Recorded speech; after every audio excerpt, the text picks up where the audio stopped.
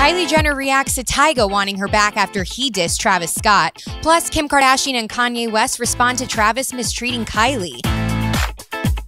Hey guys, it's Jenna with your most necessary story of the day, and we're hearing exclusively Kylie and the rest of the Kar Jenner clan are very disappointed in the flame.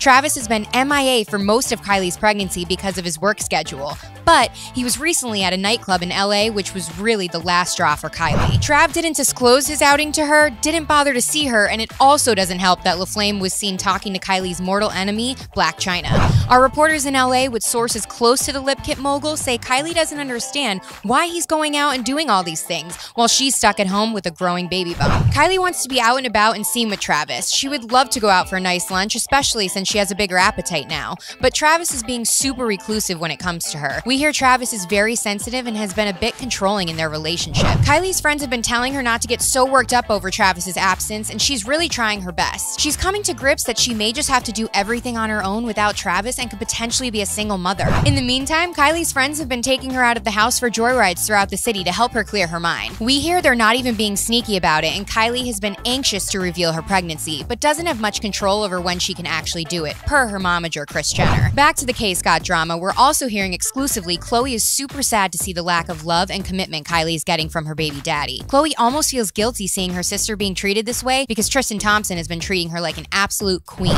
Our reporters in LA are also saying that Kim has even reached out to Travis to let him know that he needs to change his act and support Kylie. Kim is insisting that Kanye needs to help her on this because LaFlame idolizes him. Kim has even given Kanye the task of talking to Travis and convincing him to spend Christmas in LA with Kylie and to be around more. We hear Kanye isn't too happy about being forced to do this, but he's complying for Kim's sake. To Tyga, our reporters have said he's been trying to get back with Kylie, letting her know how much he misses her and telling her he'd be a better father figure for her baby than Travis. While Kylie had some great times with T, we're hearing she's not going to take him back. Kylie doesn't see a future with Tyga, which is why she left him in the first place. Travis is Kylie's endgame, and she's trying to make their relationship work. But okay, I need some commitment from you guys, so click right up here to subscribe to our channel so we can keep you updated on all the latest Kar Jenner news.